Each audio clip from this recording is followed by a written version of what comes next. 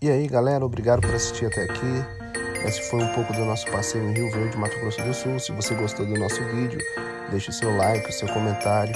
Não se esqueça de se inscrever no nosso canal, ativar o sininho e ficar ligadinho no próximo vídeo. Fiquem com Deus. Até o próximo vídeo, se Deus quiser.